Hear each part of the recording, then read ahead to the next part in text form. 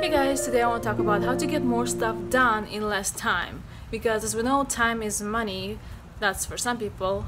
But to me personally, I just want to get stuff done and forget about it and not think about it and go do something else and get more stuff done. Yeah, that must be stupid, but yeah.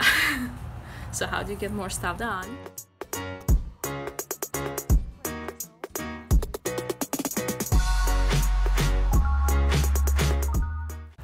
So the first way you get more stuff done is to prioritize.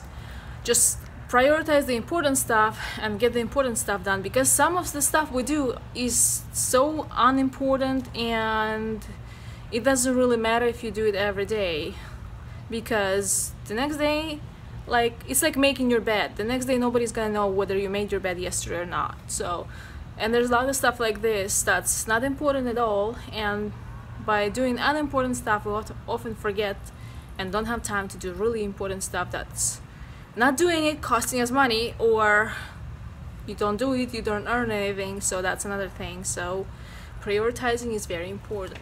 We can also eliminate unimportant stuff like things that don't save or bring enough money for you spending your time on it.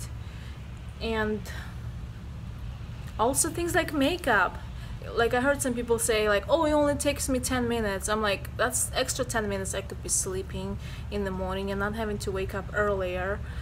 I mean they could be because I just sleep. I don't do my makeup. And the other thing that people might be wasting their time on is cleaning things too often because whether you clean it once a week or twice a week sometimes it's just the same result. It's just more work. It's also easy to get carried away um, doing unimportant th things. So my advice is to schedule and write down the important things you have to done so this way they can get done for sure. The next point is be flexible and use your current situation to get stuff done. Like if you unexpectedly get 15 minutes extra get something useful done. Don't just like be browsing in your phone and believe me you get still you still get tired of browsing your phone just as much as in of folding laundry. And extra 15-20 minutes you can accomplish a lot like recording this video maybe. And sometimes we can schedule and prioritize and all do and do all these things but then we get interrupted by like if we have kids or other people interrupt us all the time or just use your current situation and see what you can get done.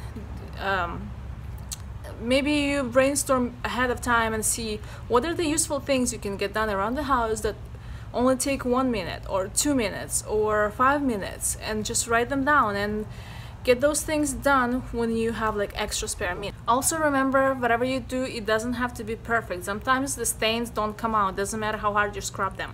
So you have to choose whether you want it to be perfect or you want it to be done. In most cases I just want it to be done so I could do more other stuff also don't forget to rest. That's also important thing. If you forget to rest uh, do a reminder on your phone or schedule it in or something because now it's an important task if you forget doing it but you really need it. So don't forget to rest to rest because this will make you more productive.